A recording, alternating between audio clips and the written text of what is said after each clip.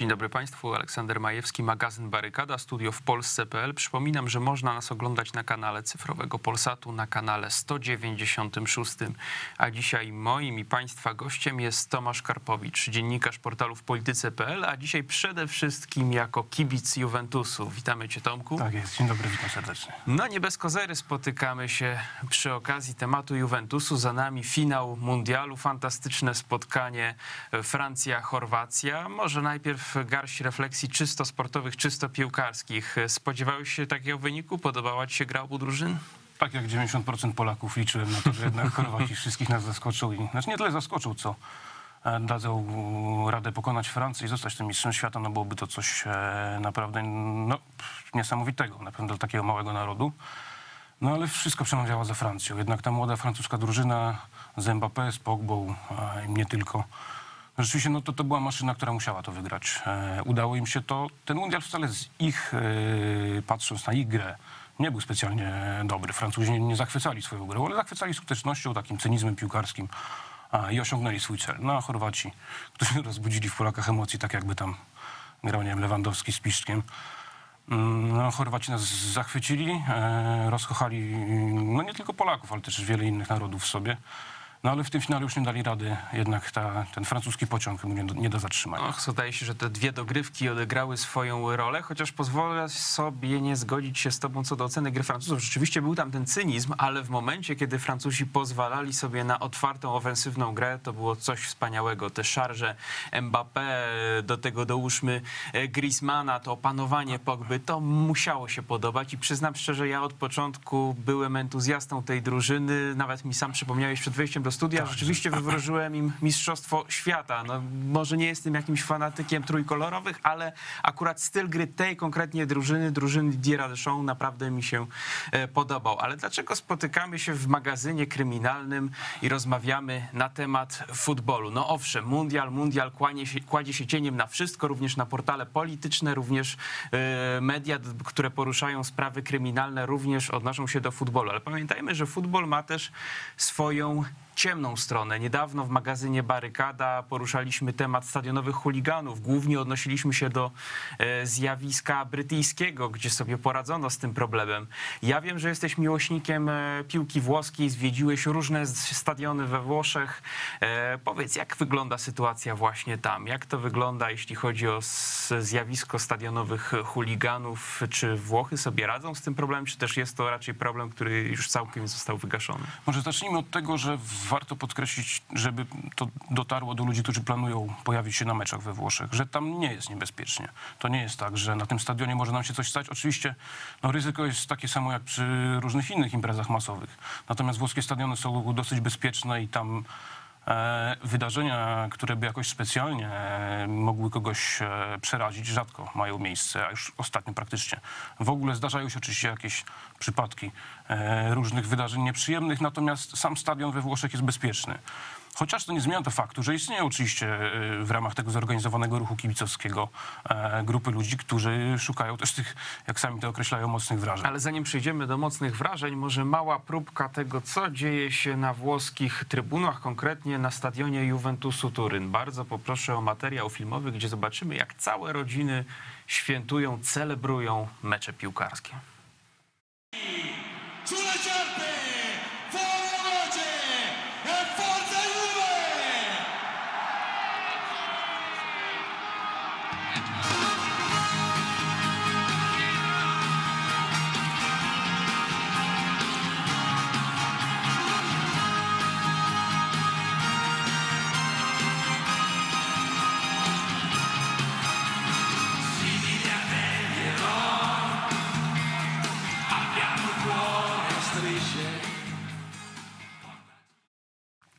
Kobiety, mężczyźni, dzieci, wszyscy celebrują piłkarskie święto każdego tygodnia, bo chyba tak jest traktowany każdy mecz we Włoszech, prawda? A co jest szczególnie ważne przy okazji tego filmu, to jest pokazany ten e, stadion Juventusu, J Stadium, obecnie Allianz Stadium, e, najnowocześniejszy obiekt we Włoszech, co jest rzadkością, bo kiedy spojrzymy na Hiszpanię, nawet Francję, Niemcy, Polskę, to jest rzecz e, sz- szczególnie fajna, że u nas te stadiony są nowoczesne, no we Włoszech ich nie ma. Jest ten stadion w Turynie, jest stadion w Udine, z tych mm, ostatnio wybudowanych i ten stadion właśnie jest takim no, miejscem idealnym do oglądania meczu. Typowo piłkarski obiekt, 44 tysiące osób mogą się tam pojawić. Atmosfera jest niesamowita, zawsze wyprzedany. E, Po karnety na sezon ludzie czekają naprawdę dniami, przez parę dni pod, pod, pod bramami e, stadionu, przed kasami. Także ten stadion akurat jest no, w dzisiejszych Włoszech, w dzisiejszej włoskiej piłce w pewien sposób fenomenalny. Mam nadzieję, że to się zmieni, że te Włochy rzeczywiście będą miały nowe obiekty, choć te stare włoskie obiekty mają, no mają tą swoją duszę, bo to jednak jak człowiek ogląda od dziecka i też bywa na tych stadionach czasem raz na jakiś czas, no to, to, to, to jednak to są takie obiekty, które mają, mają coś w sobie. To się pewnie zmieni. Natomiast no, ten J Stadium, stadion w Turynie, były stadion Della Alpi, to rzeczywiście miejsce no, idealne, takie, jak to się popularnie mówi, na święto futbolu. Święto futbolu, ale również święto na ulicach i czasami te święta mają trochę taki mroczny charakter. I tutaj bym poprosił o kolejny materiał filmowy, na którym zobaczymy kibiców, tak zwanych ultrasów e, w akcji. Zobaczmy.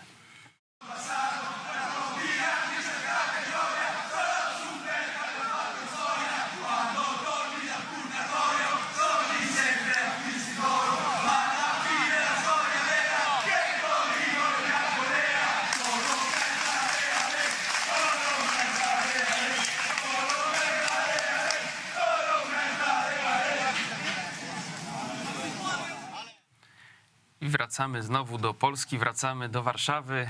E, Proszę powiedz Tomku, o co tu chodzi? To są jakieś okrzyki, tu jest jakiś krucyfiks, jak to połączyć? To jest e, pochód kibiców Juventusu grupy drugi, takiej najważniejszej grupy kibicowskiej w Turynie, znaczy na stadionie Juventusu, bo oczywiście jest też druga drużyna Torino i właśnie to był pochód na mecz e, z tym odwiecznym rywalem z tego samego miasta, czyli z Torino. Ten krzyż to jest dosyć charakterystyczna rzecz, bo już w latach 70. w ten sposób te krzyże z napisem Toro, czyli Torino, e, byk, kibice Juventusu e, nosili ze sobą, czasem je palili nawet, jako symbol tego pogardy dla, e, dla przeciwników. Torino to jest ten drugi klub w Turynie, ten, ten no, z powodów różnych, mniej utytułowany też jest. Miejmy w pamięci słynną e, tragedię na, na wzgórzu Superga, która zniszczyła drużynę Grande Torino. To jest pochód kibiców i to jest ten najbardziej agresywny element zawsze e, przy okazji meczów derbowych. Rzeczywiście, jeżeli szukamy czegoś, co jest kontrowersyjne i takie mocne, e, jeśli chodzi o włoskie stadiony, to, to są na pewno mecze derbowe. Czy to Turyn, czy to Rzym, czy to Mediolan, a w Turynie e, rzeczywiście w ostatnich latach to ciśnienie nie spada. Ono, jeżeli dochodzi do meczów derbowych, to naprawdę bywa na ulicach czasem gorąco, na stadionach też. To oczywiście się głównie objawia mm, agresją słowną, e, nie fizyczną, chociaż do, do bujek też dochodzi, też są e, ofiary, no, może nie ofiary w ludziach, ale są pobicia, są ludzie, którzy trafiają do szpitali.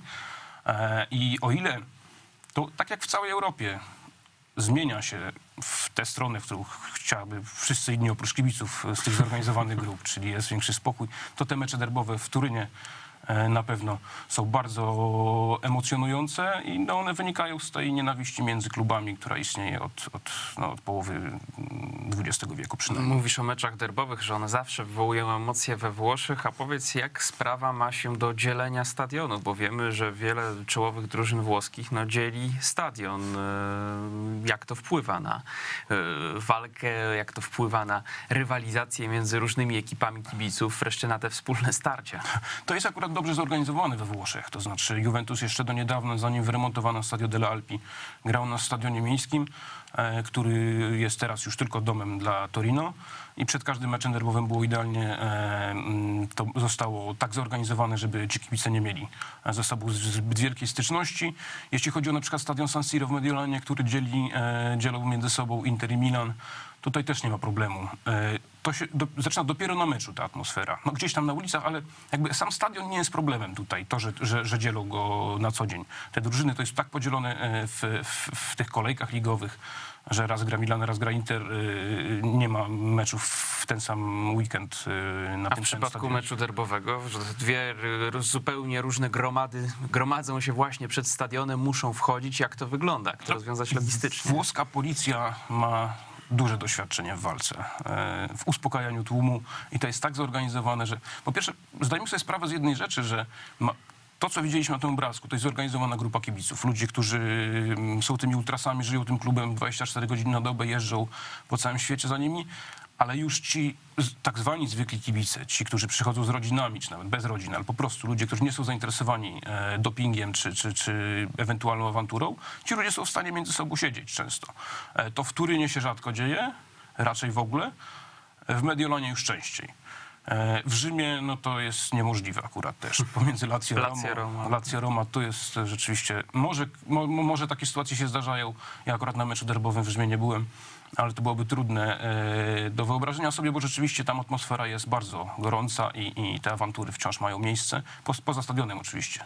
Czy to wynika może z jakichś podziałów klasowych? Pamiętajmy, że Lazio uchodzi z ten klub rzy, rzymski, prosto można powiedzieć, z centrum, z Rzymu, z właściwego centrum, natomiast y, Roma uchodzi z ten klub plebejski bardziej, tak właśnie. Trochę na odwrót to Tak? jest. To jest tak, że Lazio jakby też swoją nazwą odwołuje się do, do regionu Latium, ale to już dzisiaj nie ma takiego znaczenia. To miało znaczenie gdzieś w latach 60., 70., 80., gdzie też inaczej wyglądała struktura społeczna we Włoszech. To samo było w Turynie, e, mm, gdzie, gdzie kibicy Torino to była ta bardziej klasa robotnicza, która już nie istnieje we Włoszech przecież. Jeżeli już istnieje, no to jest dużo mniej znacząca w społeczeństwie e, i nie tak wyraźnie się e, odróżnia od reszty. Natomiast w Rzymie to Roma była tym klubem typowo rzymskim, ale też klubem dla robotników, ale też dla inteligencji rzymskiej. Lazio było dla, też dla wszystkich. E, tutaj podziały wynikają też z polityki. Znaczy, to wszystko zaczęło się od śmierci jednego z kibiców Lazio, zabitych przez kibiców Romy i ta nienawiść wtedy w latach 70. bodajże tak wzrosła pomiędzy tymi klubami. E, I co za tym idzie, istnieją też bardzo ważne we Włoszech. Jeżeli mówimy o zorganizowanym ruchu kibicowskim we Włoszech, szczególne znaczenie ma polityka. Polityka na stadionach to znaczy, dzisiaj to już jest inaczej w Rzymie. Nienawiść pozostała, ale kiedyś było tak, że to kibice Lazio byli tymi kibicami faszystowskimi, odwołującymi się do tradycji. Często widzieliśmy obrazki, tak zwane przepędzanie czarnoskórych kibiców, y, czy też słynne już y, gesty niektórych zawodników, chyba zwłaszcza Di Canio tutaj Tak, wybijał się jako ten, który hajlował, jak to się mówi, czy też jak kto woli, salutował, salutował Salut po rzymsku. tak. E, tam były też oczywiście sprawa mm, chociażby e, Arona Wintera, to bardzo ciekawa sytuacja, bo to był holenderski piłkarz, którego ojciec e, jest czarnoskórym muzułmaninem, a matka Żydówką. Więc facet nazywa się Aaron Mohamed Winter. E, więc, e, a do tego był czarnoskóry, więc kibice Lazio nie chcieli go e, zaakceptować. Były takie napisy na, na, na murach w Rzymie. E, Winter Raus, czyli nawiązanie do, do, do tego krzyku Judy Raus. E, mm, mm, I rzeczywiście ten faszyzm na trybunach e, w Rzymie, na, na tej trybunie północnej Stadionu Olimpijskiego wśród kibiców Lazio do dzisiaj jest obecny. Tam są pieśni na cześć e, Benito Mussoliniego, tam są właśnie te słynne saluty rzymskie, są pieśni faszystowskie, tylko że to nie jest codzienność, to nie jest tak, że oni rozpoczynają mecz składa, od złożenia hołdu Benito Mussoliniemu. To się pojawia gdzieś tam. Incydentalnie, gdzieś na marginesie? Bardziej niż na marginesie, bardziej niż incydentalnie, natomiast to nie jest jakby główny klucz przewodni, tak mi się przynajmniej wydaje.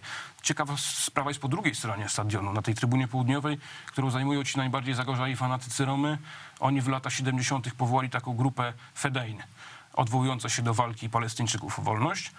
Fedain, palestyński wojownik, to była grupa lewicowa komunizująca. Ona do dzisiaj istnieje, tylko już nie ma żadnego większego, znaczy ma swoje znaczenie, ale nie aż tak duże, jak miała. te- E, kiedyś, dzisiaj, e, to było 3, 4, może 5 lat temu, na trybunie e, AS Roma pojawiły się już swastyki, e, symbole e, też faszystowskich Włoch, właśnie te faszystowskie okrzyki, za to, tu Roma została e, dokładnie ukarana.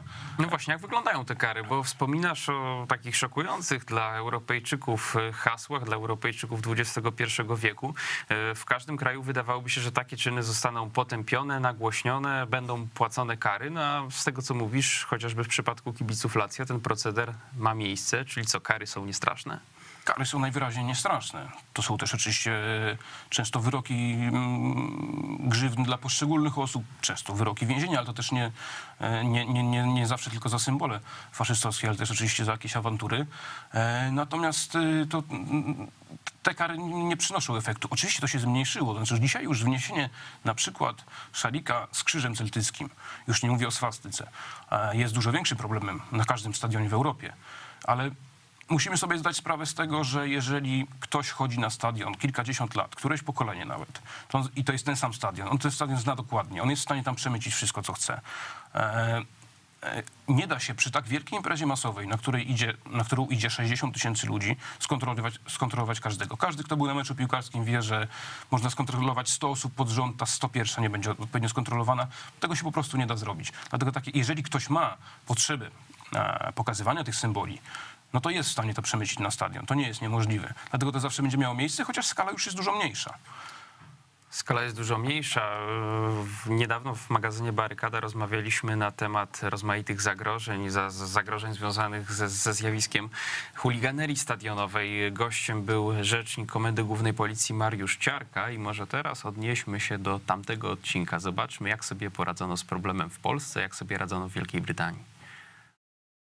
Nie Jak to ma wygląda? najmniejszej wątpliwości, że dla nas bezpieczeństwo jest najważniejsze. I chociaż nawet ustawa o bezpieczeństwie imprez masowych mówi, że no, podczas tych mm, meczów, podczas różnego rodzaju imprez, to organizator jest odpowiedzialny za zapewnienie bezpieczeństwa wewnątrz obiektu, a więc teoretycznie my moglibyśmy pełnić służbę na mieście, to i tak w pobliżu stadionów zawsze widać tych chłopaków z oddziału prewencji, którzy wykonują tą swoją ciężką pracę, bo nie możemy sobie pozwolić na to, że gdyby doszło do zakłócenia zbiorowego porządku publicznego, abyśmy my tych ludzi wtedy dopiero ściągali i przywracali porządek.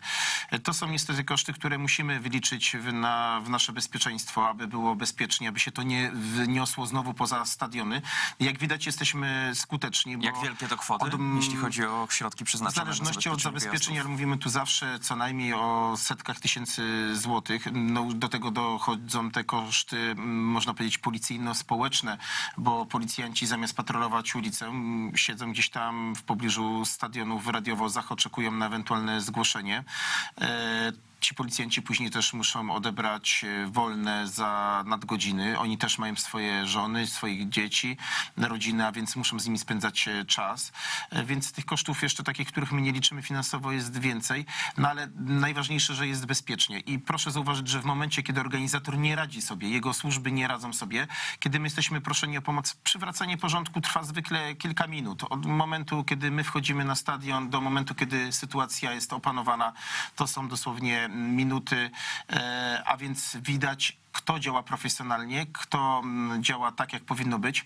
Natomiast no, wiele do życzenia, jak wypełniają swoje obowiązki firmy ochroniarskie. Już nie mówię tutaj o tych momentach, kiedy dochodzi do zakłócenia porządku, ale ja zawsze tak podczas takich rozmów porównuję e, stadion chociażby z koncertem, z lotniskiem, gdzie są określone wejścia i Ci pracownicy firm ochroniarskich potrafią bardzo dokładnie, skrupulatnie zbadać. W przypadku e, meczów piłkarskich te firmy nie spełniają swojej roli? No Właśnie, firmy ochroniarskie kuleją w Polsce, a we Włoszech? We Włoszech to jest tak, że ich jest dużo więcej na stadionie, tych przedstawicieli, tych stewardów tak zwanych. E, Natomiast tam nie dochodzi w ostatnim czasie do żadnych interwencji. Policja też jest e, wokół stadionów. Te firmy ochroniarskie w Polsce rzeczywiście są dosyć dziwne i działają dosyć dziwnie na tych stadionach. To często, znaczy? to często jest nawet współpraca z kibicami e, przy wnoszeniu jakichś środków pirotechnicznych, bo ktoś kogoś zna, albo po prostu ktoś się boi tych kibiców, a z drugiej strony jest często taka, to znaczy częściej to się zdarza, taka bezpodstawna przemoc wobec kibiców podczas meczów wyjazdowych, e, gdzie po prostu taki ochroniarz e, jest przekonany o swojej sile i znaczeniu i on będzie decydował o tym i czuje się policjantem. Co oczywiście jest nie- niezgodne w żaden sposób z prawem, bo on nie jest policjantem, on po prostu tej imprezy, nie jest funkcjonariuszem publicznym. E, Natomiast we Włoszech to nie ma z tym większego problemu. Mm, Ci ludzie też, znaczy zupełnie inny poziom kontroli na meczach. To znaczy tam im chodzi o to, żeby jak najszybciej ci ludzie weszli. Często nie, ci ochroniarze nie przeszkadzają w niczym. W Polsce to jest jednak ta kontrola jest dużo poważniejsza i słusznie zresztą, pewnie z punktu widzenia normalnego kibica. E, co też utrudnia czasem wchodzenie na stadiony. E, Natomiast no, rzeczywiście jakieś tam nie- niedociągnięcia są, to dosyć poważne, ze strony firm ochroniarskich. Na koniec może miły akcent i tu też byśmy posłużyli się materiałem filmowym, to będzie taki dobry trailer tego, co nastąpi.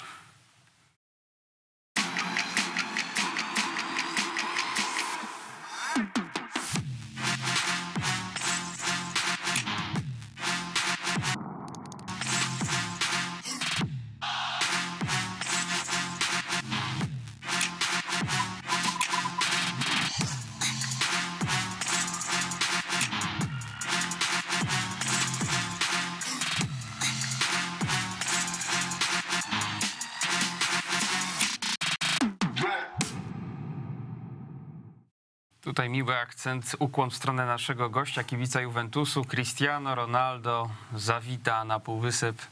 Proszę powiedz, No, jakie emocje ci towarzyszą? No emocje poważne, bo to jest, abstrahując już od samego aspektu piłkarskiego. No wszyscy wiemy, czy ktoś lubi Cristiano Ronaldo, czy go nie lubi i doskonale zdaje sobie sprawę, że no mamy ogromny zaszczyt, że możemy żyć w czasach, w których on gra w piłkę, tak jak i Leo Messi. Bo to rzeczywiście człowiek y, piłkarsko niesamowity, ale to też jest takie pewne przełamanie stereotypu, który rósł, y, narastał przez lata przy okazji włoskiej piłki. Znaczy włoska liga stawała się miejscem, w którym rozwijały się talenty i one uciekały do Europy. Albo Sprowadzenie- miejscem dla emerytów, prawda? albo też miejscem dla emerytów właśnie, którzy gdzieś tam już sobie nie radzili w Hiszpanii, w Niemczech czy w Anglii i przychodzili i odbudowywali się trochę we Włoszech. E, Ronaldo ma 33 lata, więc on z punktu widzenia, mm, patrząc na innych piłkarzy, już może w stronę emerytury zmierzać, tylko to jest Cristiano Ronaldo. On ma 33 lata, gra jakby miał 25 lat jakikolwiek inny piłkarz. I to jego przejście do Włoch jest takim przełamaniem stereotypu i pokazaniem, że do Włoch też mogą przychodzić ci wielcy Ja piłkarze. też cieszę się z tego transferu, może dlatego, że mam wykupioną serię, nie powiem w ramach jakiej telewizji cyfrowej, żeby nie robić reklamy, ale, ale myślę, że, że będę miał co oglądać, kiedy rozpocznie się sezon. Bardzo dziękuję mojemu gościowi, Tomasz Również Karpowicz, dziękuję. dziennikarz portalu w Polityce.pl, kibic Juventusu, a my, drodzy widzowie, widzimy się już za tydzień. Już niestety będziemy musieli odpuścić tematy piłkarskie. Mundial zakończony. Do zobaczenia.